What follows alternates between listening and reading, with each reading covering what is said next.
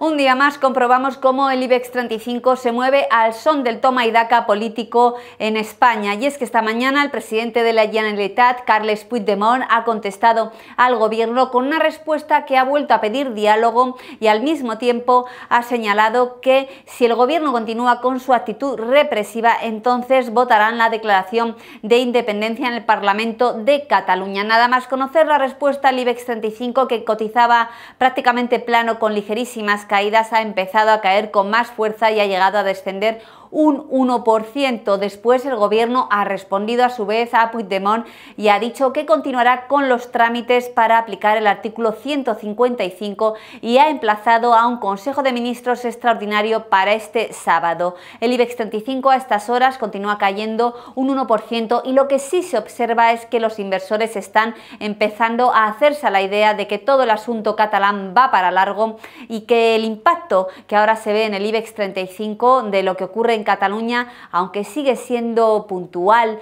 y también fuerte, parece que empieza a ser más comedido. Caídas, como les decimos, del 1% en el IBEX y de en torno al 0,6% en Avertis después de que ayer rebotara un 7%. Avertis es el protagonista indiscutible de la jornada desde el punto de vista empresarial tras conocerse ayer esa oferta de ACS sobre la compañía. Los analistas recomiendan mantenerse invertidos en Avertis a la espera de que Atlantia, que además ha confirmado que así lo hará, mejore su oferta sobre la compañía. Guerra de OPAS en torno a Avertis y un asunto que, como ocurre con el caso catalán, también parece que va a ir para largo. Y para largo va también el tema del Brexit que vuelve a ser noticia en esta jornada por esa reunión de la Unión Europea en Bruselas para debatir el asunto de la salida de Reino Unido